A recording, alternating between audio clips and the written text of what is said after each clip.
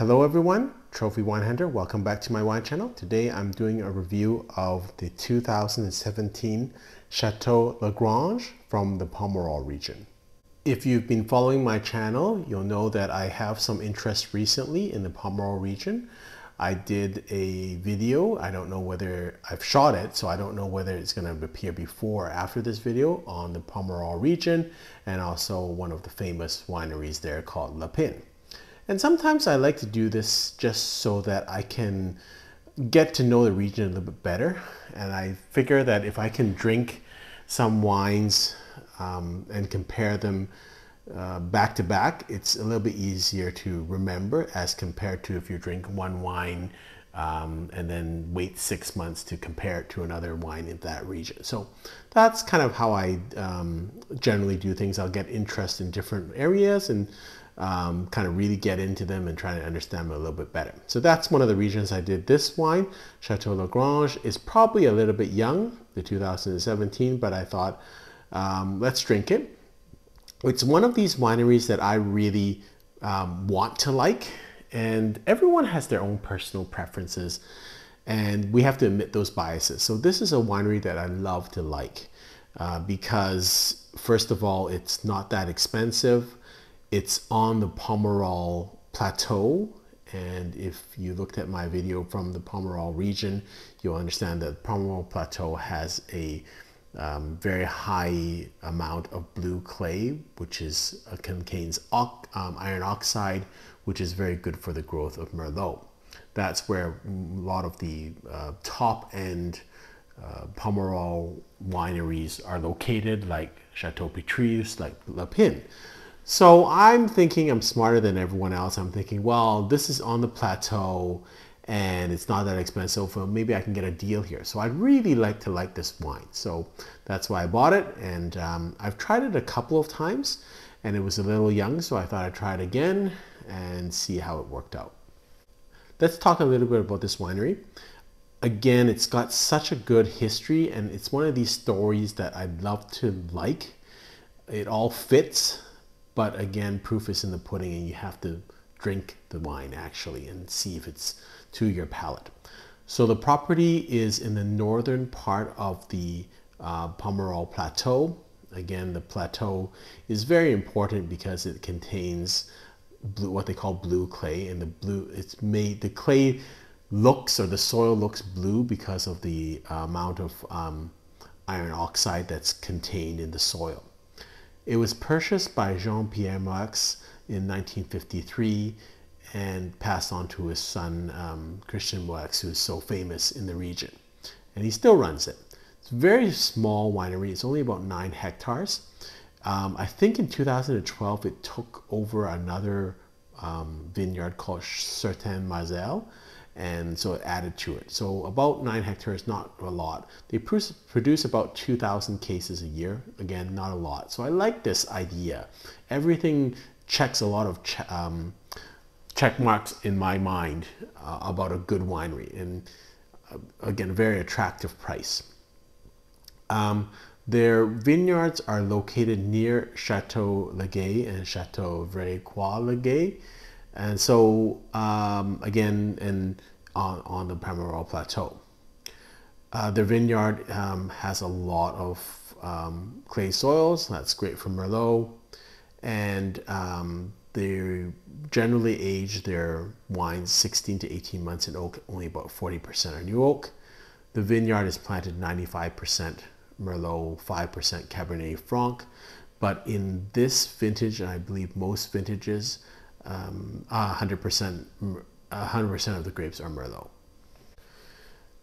The Vin Chateau Lagrange doesn't have its own vinification facilities or winemaking facilities, so it uses the facilities of Chateau Trotanoy. So I think that's a pretty advantageous um, thing because Trotanoy um, has really good facilities. 2017 vintage would be considered an off vintage or drinker's vintage. It depends on how you want to look at it. Um, so it should drink earlier. And this vintage was given 92 points by Wine Spectator and 2,550 cases were produced. doing this review has really taught me a lot about expectation. So the style of this wine is meant for early consumption. And when I first bought this wine, not doing as much research on this wine, I thought I had a steal. I'm thinking to myself, well, it's on the Pomerol Plateau. It's less than $100. It's got blue clay, so it's going to be as good as La Conseillante and Petrus. So I'm smarter than everyone else in the world, and I've got this deal. I'm the new Robert Parker who finds these uh, wines that uh, no one else knows. But as I do did more research on this wine, I realized actually it's about um, stylistically, this wine is for early consumption. It's uh, it's made by the Moueix family who make other wines like Trotanoy. Um, but there's, it's not that the wines, and again, we go back to uh, earlier videos where I say it's not about the wine and what the producer can do. A lot of these are great skilled winemakers. It's what market that that wine goes to. And if every wine uh, tries to be a hundred point wine or try to speak to the same market, well, it's kind of boring then. So every, and even within producers, they have different wines and uh, for different markets and for different drinking abilities. So this wine really is meant for early consumption. Um, it's an easier drinking wine. You can tell because they don't use as much oak. And so it's not going to be as tannic. And so if you're expecting a wine like Chateau Petrus or Le Pin uh, or uh, Le Pan or La Conseillante, then you're going to be disappointed, which is what I learned. You have to put those thoughts at the door and not judge the wine with your preconceived notions, but let the wine speak to you and love the wine for what it is. Let's look at the cork kind of a medium-sized cork, simple, uh, nice, but again, uh, for 17, pretty clean. That's the way it should be. Label is um, nice, simple. Jean-Pierre Moueix family in Pomerol. Fairly simple label. And then this is the wine itself. Um, I would say not heavy in color, almost um, shows a little bit of aging, but it's not dark uh, purple or dark red. So kind of it fits in with this um, expectation that it is an earlier drinking Bordeaux. So let's taste the wine. I'll let you know that I did have this last night at a nice restaurant, French bistro restaurant in town called Alouette. At the end of this video, I'll have a video of their uh, beef tartare table side, which is really exceptional. So I had it with beef tartare and then with coq. Uh, delicious, uh, lovely pairing. I think when I opened it again, the expectation was I had just uh, finished reviewing the 2006 uh, Le Pin and I was expecting these really big wines because it's 2017. So my I had to recalibrate when it came out and it wasn't as heavy as I thought. We put it in a decanter, but it drank fairly well, um, fairly soft, some earthiness, some smokiness, some red fruit on the palate, and um, not really heavy tannins. So let's taste it now after a, um, a night. So this is the second day knowing that 17 is what they call a drinker's vintage, or some people call an off vintage, depending on what you say. So it's going to be for earlier drinking. So on the nose, you get, I don't think you get many, um, much floral. You get mostly um, red fruit, like um, raspberries. I get, I don't get as much, I don't get the smoke that I got uh, last night, but I get, um, yeah, some small red berries. And then I get a little bit of uh, candy shop or confectionery type aromas, but mostly fruits, a little bit of oak, uh, very pleasant.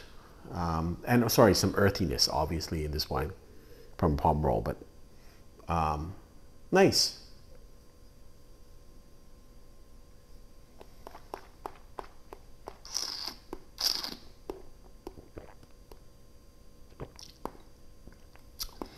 On the taste, you get some oak fighting with some primary fruit flavors.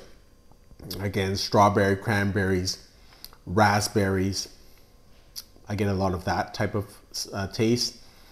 On the aftertaste, a little bit of um, earthiness, a little bit of leather, leathery components to it, um, and then some good acidity at the end. I would say the tannins on this are medium.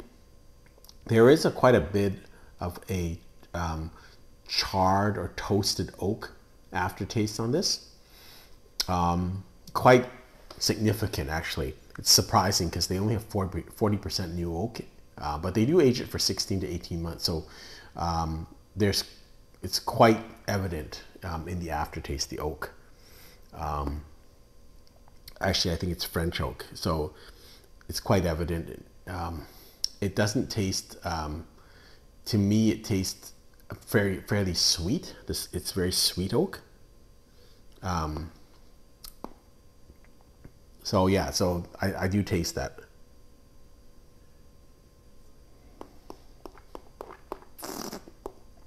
Mm.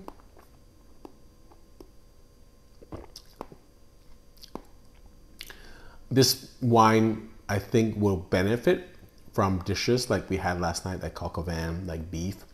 There is an acidic component to this, so it's not um, just as a sipping wine. It's a little bit heavy for a sipping wine, but with a little bit of food, I think it will balance out the acidity.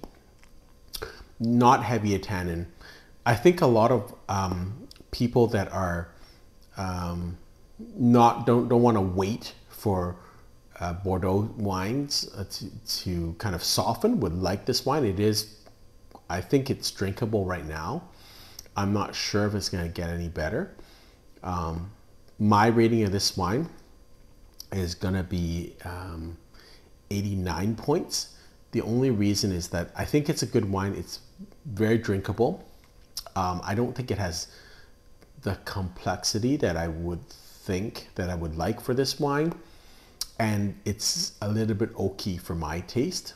Um, it doesn't have, it doesn't seem to have the fruit to support the oak, in my opinion. But it could be that it's young, um, but it's a very, very drinkable wine. So if, as compared to uh, wines like Léoville Las Cases or Montrose, Montrose that people don't want to you know, a 2017 Léoville Las Cases would not be drinkable at this point. And for those people who want to drink Bordeaux, um, who can't find back vintages, this is not a bad uh, wine to drink um, because it's not that expensive. It was a, under $100 here in Canada. Comes from the Pomerol region. It comes from, uh, it's Merlot based. It's got some earthiness, got fruit, and um, very drinkable um, mouth-watering and very acceptable for people that like North American wines and who don't like a austere or um, not as fruit forward style of wine. Um, it was known as a more uh, rustic, backward style of wine, but I think with the Moueix family being involved, it's quite modern in terms of style, I think. Um, it's not pretentious at all. It's very drinkable. So what I'm trying to say is I think I enjoy this wine, but I'm a little disappointed because I thought I was buying, uh, I was being smarter than everyone else. So it's a great drinking wine. And again, I think this review proves to me that I should, or kind of is a lesson to me not to overthink wines and not to put my expectations on a wine, um, but just let it be what it is. And so I guess initially I was disappointed, but as I continue to drink it, now I'm loving the wine for what it is, which is a earlier drinking wine, which is really nice to drink and um, not uh, Pomerol or a La Conseillante or a L'Evangile um, wannabe. It's by itself, it's a great drinking wine, and that's what I should accept it to be. Um, so I hope you've enjoyed this tasting. Until next time, happy drinking.